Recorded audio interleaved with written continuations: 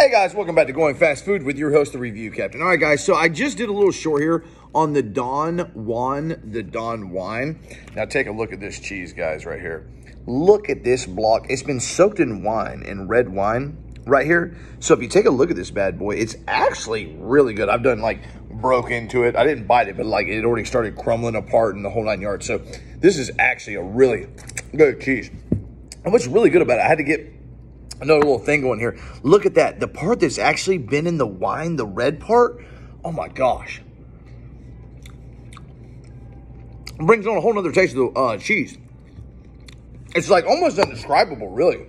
Like once you actually get it in the wine, this is goat cheese.